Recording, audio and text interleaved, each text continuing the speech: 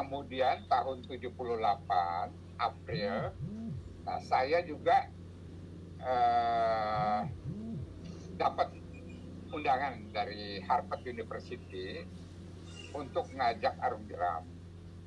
Nah kebetulan waktu itu mereka tuh uh, taunya bahwa saya itu melatih di Citarum gitu, melatih anak-anak.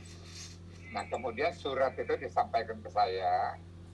Nah, mereka menanyakan sungai yang mana di Indonesia ini yang bagus untuk arung jeram.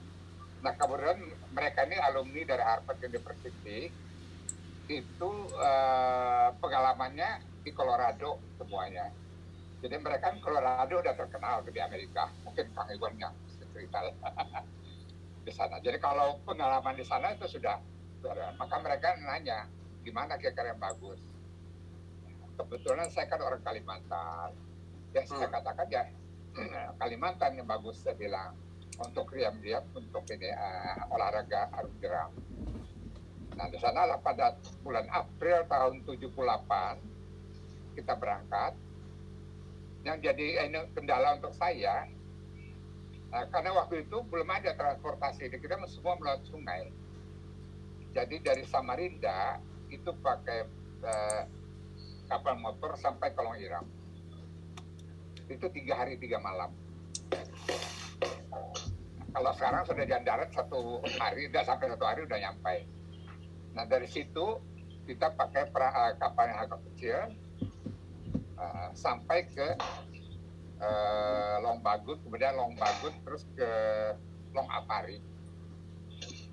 Jadi semua perjalanan itu saya tempuh uh, satu minggu sampai ke Long Apari. Nah itu sudah mereka bawa perahu yang sudah canggih, Avon, tapi tidak secanggih sekarang kalau sekarang kan begitu masuk air kan keluar sendiri. Kalau dulu enggak, masuk air kita harus timba dulu, kita balikin dulu gitu. itu zaman itu ya. Uh, jadi sangat sangat beda sekali. Nah, sampai dari Long, Long Apari, ya mungkin saya cerita pengalaman saya lah, karena itulah mungkin pengalaman pertama ekspedisi menggunakan perahu karet. Nah, sampai di Long Apari, kita tiga hari karena di situ ada uh, wabah ya, kolera.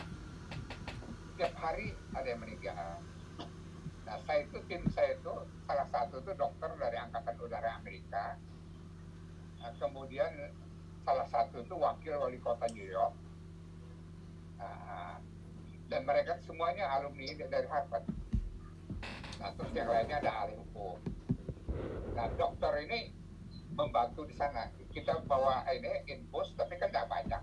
Kita bawa tadi sekedar untuk perjalanan.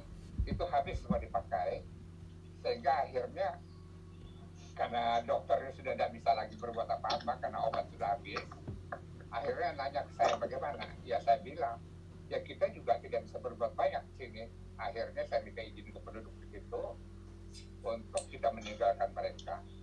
Itu tahun 78 April Nah, kemudian kita melanjutkan pakai perahu kayu menempuh uh, itu uh, Sungai Kasau.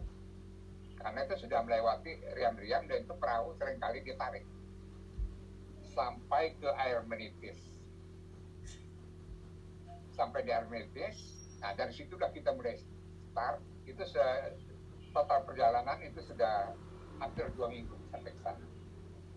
Berikut tiga hari bertahan di uh, Longapari. Nah, kemudian dari sana kita uh, jalan kaki satu minggu bawa penduduk tempat untuk mikul barang-barang kita termasuk perahu karet.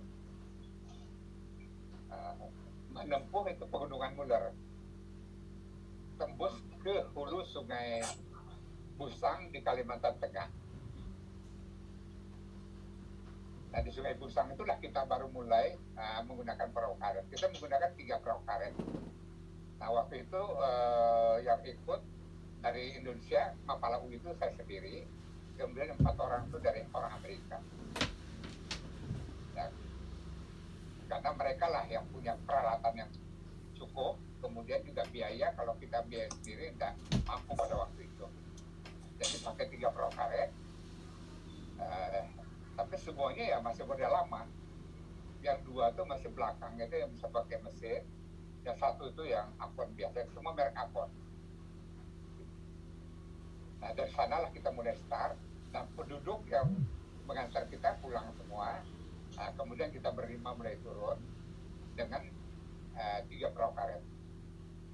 Nah itulah kita mulai uh, ini, uh, riam-riam di sana itu nah setelah kita lewatin mereka sendiri setelah ini awalnya kan mereka merasa mereka tuh uh, dari Colorado ya. Colorado kan terkenal riamnya di dunia.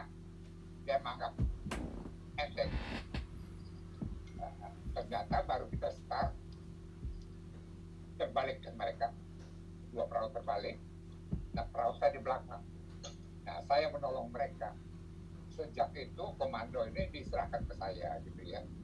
Uh, jadi sebelum menempuh Riam mereka konsultasi dulu tanya saya gitu. Dan memang riam-riam di Kalimantan itu ya mungkin di tempat kita yang lain juga sama. Seringkali airnya itu pada waktu kita mendarat itu cuaca bagus terang. Nah mereka kan mengajak kita untuk camping itu pasang tenda di batu-batu kan di pinggir sungai saya melarang. Saya bilang bahaya. Karena lebih baik kita di daratan. Besok pagi begitu kita bangun itu batu-batu itu sudah habis. Disapu oleh air. Jadi biasanya banjir itu di sana namanya uh, mungkin banjir bandang ya kalau di Jawa di sana sepura nah itu biasanya hujan dulu tapi cepat kita cerah.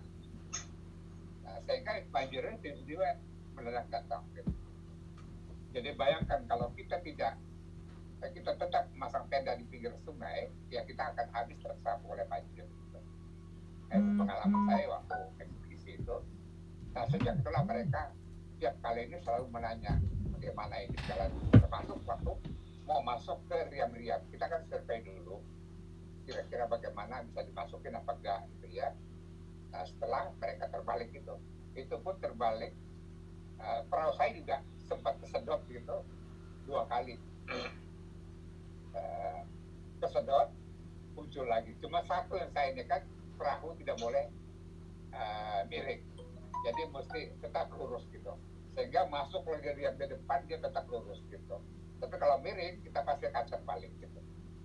Ya itu mereka cerita memang riam-riam di sana menurut penduduk itu sana kan banyak kayu-kayu uh, yang bekas tebangan itu kalau di ini di pusaran air itu berdiri uh, kayu yang uh, di uh, 50 kan orang gitu itu berdiri.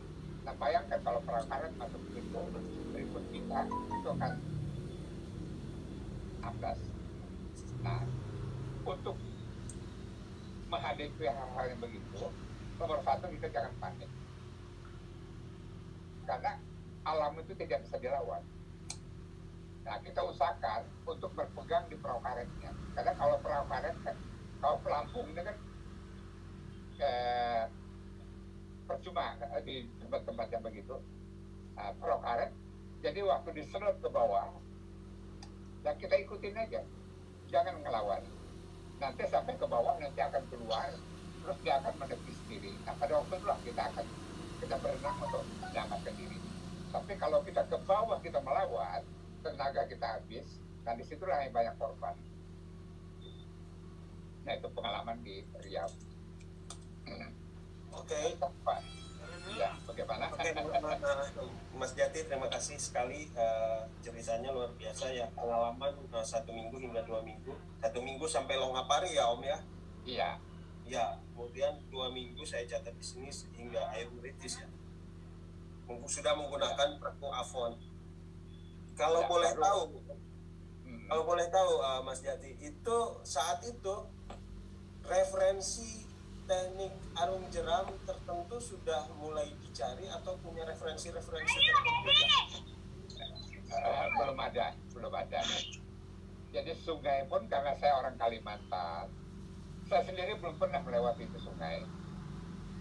Yang jadi pertanyaan untuk saya pada waktu itu, uh, karena kita kan sampai di hulu sungai Mahakam, itu kan sungainya putus.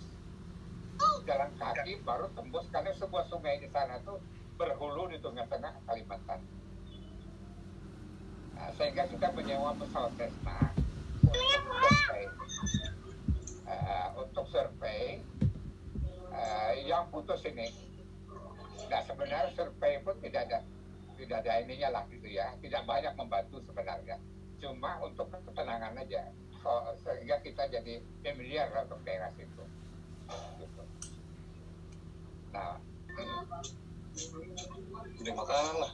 Udah beli, mana? Oh, oh, iya, iya. Sebentar, mohon bantuannya Kang ini uh, beberapa ini mohon di mute dulu ya.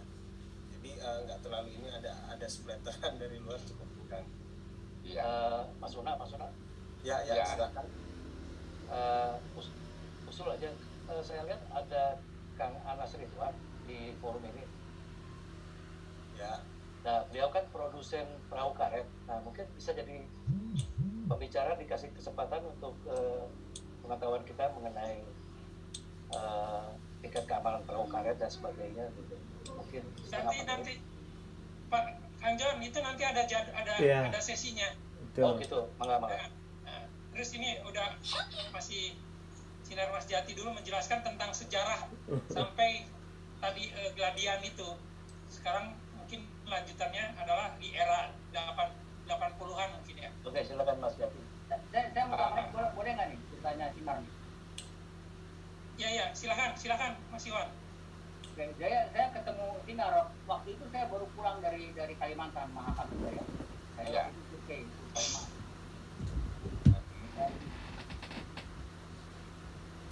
betul yang dia bilang itu apa yang kita lihat di Citarum itu ya itu juga ada apa-apanya kan ya, dengan yang kemudian kita lihat di pertama yang pasti mau buat kita terpesona itu yang namanya riang udang itu betul. Nah jadi berapa kilometer dari dari Longbagun ya? Dari berapa Longbagun betul. Di di hulunya Longbagun ya di hulunya Longbagun kita dan itu di hilirnya ya, uh, riang udang itu itu selalu banyak kuburan tidak orang-orang korban di situ. Ya, gitu. makamkan di situ. Saya saya saya kebalik di situ. Oh iya saya pertama kali saya lihat riang udang itu wah saya terpesona betul. Yang paling hebat sebelum riang udang yang saya lihat tahun-tahun itu ya di anak dua ya. Wah ya, yang panjang dan orang sana orang Dayak itu kan mereka lewat sana kan pakai perahu pakai mesin longboat longboat ya. Nah sebelum lewat dia minum dulu arak, tapi setengah tabung. Karena kalau dia tidak minum dia takut. Supaya berani dia minum arak. Nah, sehingga mereka berani main di antara batu-batu itu. Ya kita yang menumpang yang serem. Eh, jadi itu itu sudah ini sudah ini mereka lah gitu. Jadi sebelum lewat dia minum dulu tuak di sana tuak namanya gitu Bang Iwan. Ya, Iwan. Memang memang memang beda sekali uh, yang saya alami sendiri di Sungai Mahakam, Sungai Bok, Betul. Dan di Kaltau, Sungai Busang, nah itu lebih serem lagi, Kang Iwan. itu benar-benar luar biasa uh, riamnya. Dan memang salah satu lagi riam yang di menuju ke Longnawan nah itu Norman yang pernah ke sana dulu karena waktu itu saya nggak bisa uh, saya suruh Norman ikut mendampingi nah, teman-teman kita dari orang Amerika ini. Jadi mereka tuh semua sudah diikutin semua Riam di Kalimantan. Nah itu namanya itu yang yang uh, Riam di sana itu dia kayak berkabut. Gitu karena uap daripada ini air itu. Dan memang itu tidak ada yang berani lewat di situ. Riam Afun ya? Iya Riam Afun. Afun itu kan embun kan. Kabut